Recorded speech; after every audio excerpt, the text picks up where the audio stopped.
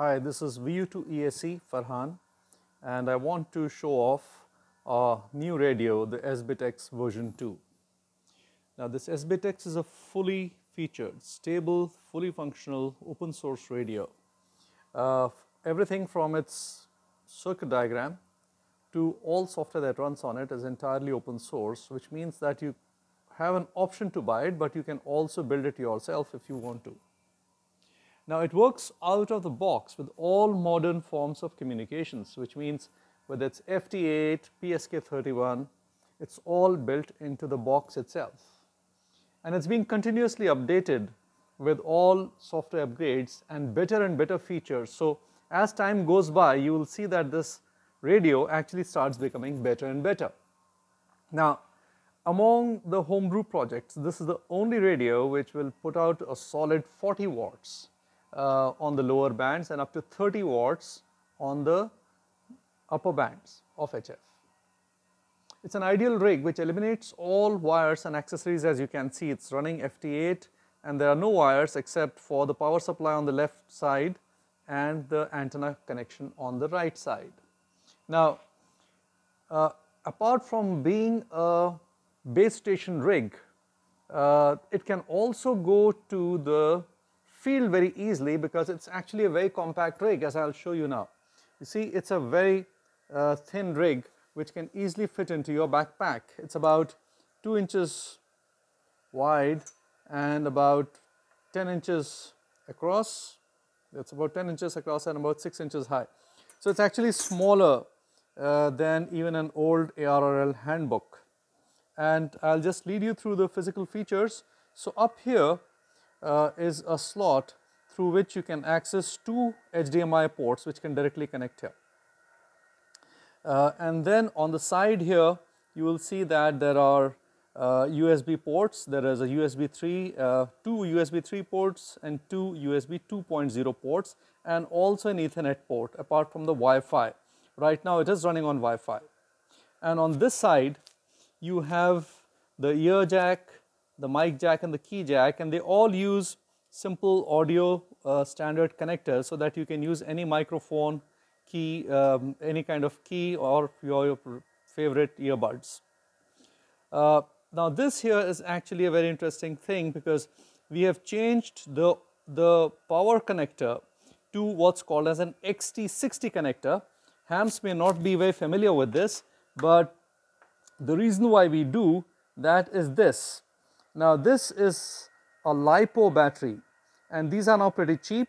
Uh, this is this 3S 11.1 volt battery lasts me a couple of hours in the field and it's pretty lightweight. So for about two and a half kgs which is about 5 pounds you can have the entire station in your backpack which you can take onto the field. So that's about the external parts and the weight and the physical uh, features of this radio. Uh, there are two knobs here of course and uh, the way these knobs work is like this. So if, you if I just press it, after this, this becomes the volume control. As you can see, the volume is going up and down here, right? And this, of course, is tuning knob, and you can change the step rate from there. So uh, that's about the physical part of it. Now I will show you what's inside it. So the entire box uh, has just one PCB on it, which is this. Let me just clear this out. So uh, this is a single board uh, on which the entire radio rests. And uh, this is a very high performance radio to begin with. So now the latest trend uh, as it rightly should have been to begin with is ha having hybrid software defined radios which means that the front end is actually now this is the entire radio really here. Okay it's very small. Uh, this is where the Raspberry Pi goes in. This is where the radio is. This is the front end and in the front end you have a passive field effect uh, transistor FET mixer, very high performance uh, mixer. And directly from the mixer there are, there are no RF amplifiers before or after that. It directly feeds to a, an 8 crystals crystal filter at 40 megahertz following which the first amplifier which is the IF amplifier is there.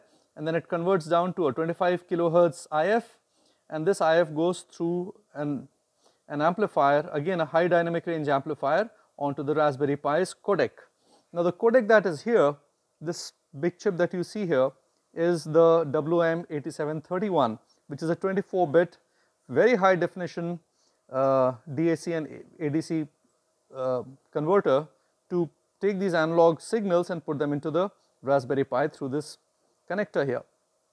But here the other thing here is that the SI5351 has been cleaned up by by a reference of 25 megahertz temperature comp compensated very low phase noise oscillator so that the phase noise is also low. Now this actually feeds to the power amplifier on the transmit side. So this is the power amplifier section. Uh, all the transistors used here, these are 2N2219s, they just cost a couple of cents here and the power amplifier transistors here although this is giving 40 watts out is actually a very very uh, low cost and expensive transistor called the IRFZ24N and this feeds to a number of low pass filters. Now the key thing about these low pass filters if you see is there are no relays here at all.